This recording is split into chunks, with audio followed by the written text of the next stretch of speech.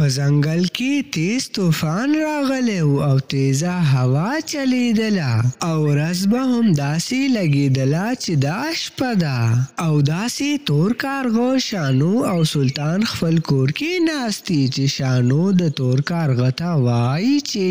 وه کارغه چې دا سلطان زوی مې د څو ورځو داسې زت نصیحت کوی چی فافا دی مونږ چکر له بوزی. ټیک ده شانو زما رکشه هم دغه شان ولاړه ده او یو سورلی هم نشته دی. پپا پپا نو بیا ټیک ده د تاسو سره ټایم هم شته دی بیا مونږ غر والا ځنګل ته بوزی یو. نو بس ټیک ده تاسو تیاریانی شروع کړئ او د سبا په کیدو سره به بیا لاړ شو.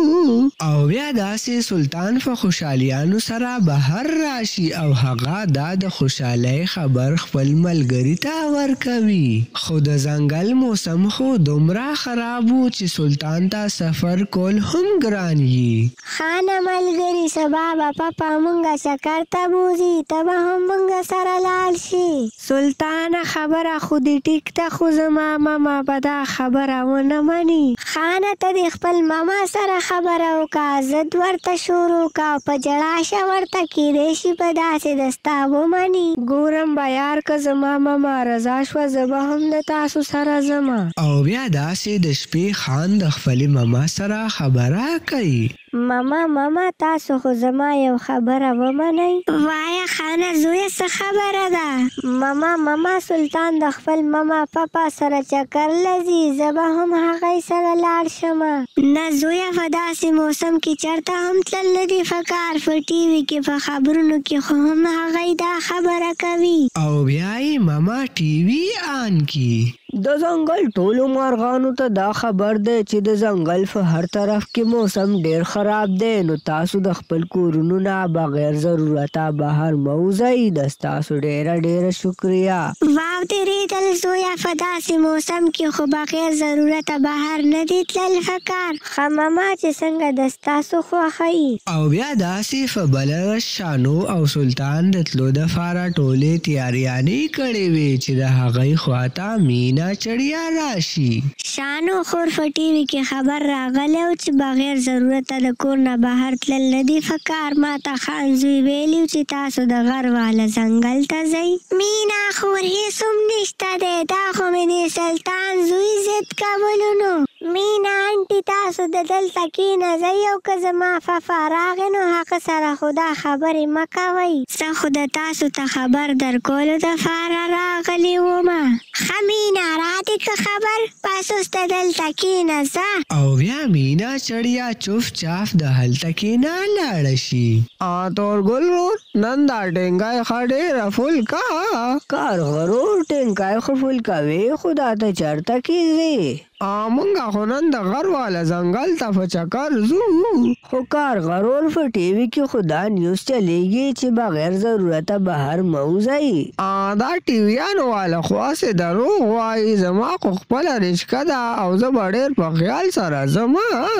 او داسې فه لږ ساحت کې تور کا. کارغه شانو او سلطان په رکشه کی کینی او خپل سفر شروع کی او تور کارغه ته خو دا سفر کول ډیر ګران وو هغه خو په زور زور خپلی سترګی کولاوولی. آه شانو زما خو دا نظر سم نه لګی چی مخکی موسم به لا څنګه یی. کارغه چی مخکی موسم به ښه یی ته لږ په خیال سره دا رشکه چلوه. او داسی د هغی رشکه په یو ونه. ورشي او هغې سره ښه وجنګیږي تور کارغه خپله رشکه ډیر په مشکل سره کابو کي. کارغه چي وه کارغه چي دا لایټونه دي آن ساته ولي نظر دي بیخي کار نه کوي څه.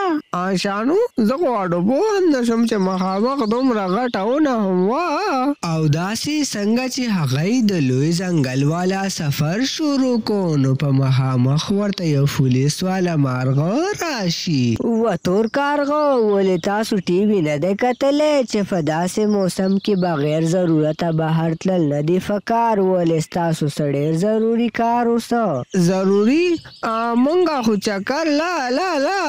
پولیس پولیس دی زما ماما خو ډیره ناجوړه ده هغه غر واله ځنګل کی ده او هغه یوازی ده زمونږه دا تلل ډیر زیات ضروری دی. که د ستاسو دا تلل دومره ضروری نه وو ما به تاسو هیڅکله نه وای فریښودی ځه تاسو لاړ شی. او داسی هغه د لوی ځنګل سفر شروع کی.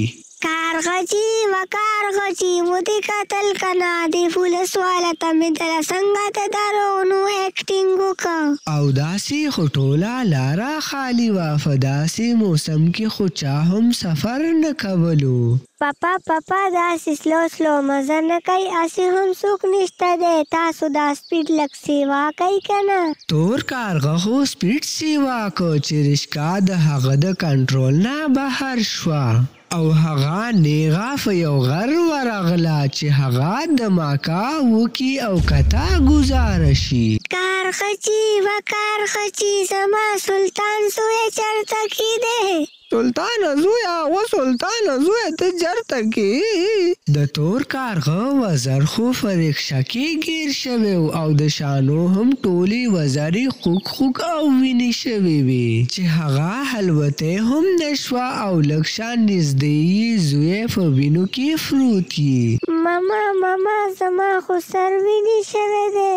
آ شانو په وشه نو هغه دی زمونږ زویه زما خو وزر په رشکه کې ګیر شوی دی ته په څه طریقه د هغه خوا ته لاړی شه.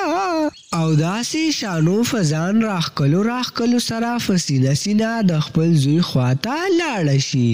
سلطانه زویه سلطانه زویه فاسه زه رالمه. خو سلطان خو څه هم نه وایي ځکه چې هغه خو مړ شوی یي. کارغچی کارغچی سو مونږه سوی خو مړ شو وای مړ شو مونږه یې یوازې پرېښودو. او داسې هغه یې دواړو ژړل شانو هم هلوتی نه شوه چې تور کارغه یې د رشکې نه بهر کړی و. بغیر ضرورته د سفر کولو نه ځان بچ کړئ اوس یو خبر راغلی دی چې یو رشکه په غر ورغلې ده او هغه ډېره ښکته ګوزار شوې ده او د هغه یې د بچ کولو کوشش شروع دی. ماما ماما زر راشئ په ټي وي خبر راغلی دی چې یو رشکه کته ګوزار شوې ده. زویه دا خو ډیر بد شو دا رشکه به ضرور د شانو د هغه رشکه یی. او بیا داسی ریسکیو والا ټیم د هغی د بچ کولو دفاره فه ځنګل کی ګرځی خو هغی خو فه نظر نه راتلل ځکا چی هغی خو ډیر ښکته ګوزار شوی وو. بیا داسی شانو ته هغه ریسکیو واله هیلی کافټر فه نظر راشی. مونږ بچ کئ مونږ بچ کئ مونږ دلته کی یو. خو ریسکیو والا ټیم د هغی اواز کله اوریدلو. آن شانو لاړل ریسکیو والا ټیم واله هم لاړل نو مونږ خو دلته مرګ دی او مونږ خو به دلته مړه کیږو. کارغه جی مونږ خو په. خپل کور کې ښه فه ارام سره ناست و، سلطان خو ماشوم دی وای مونږه د هغه خبره ولې منله؟ افسانو که مونږه چرته دې چکر له نه راتلو نو سلطان به نن زمونږه سره و. او داسې فکې دوه رزې تېرې شوې بیا فه درېمه رز رېسکیو ټیم واله هغه یې معلوم کی او مرهم پټی ورله وکی او خپل کورته یې بوزی او بیا داسې مینه چړیا د کبوتر خواته راشي. کبوتر خبر شوي تور کارغه دي خپل کور ته راغلي دي. او راغلي خو دي خو د هغه يې خو زوی هم مړ شوی دی. فه دې اورېدو سره مينا چړيا خفه شي بيا هغه ټول ملګري د تور کارغه کور ته لاړ شي. شانو د ستا د زوی په خبر اوریدو سره خو مونږ ټول ډیر زیات خفه یو. مینا خو ډیره غټه غلطی وشوه په داسی موسم کی خو مونږ ته چکر نه وو وهل فکار غلطی وشوه.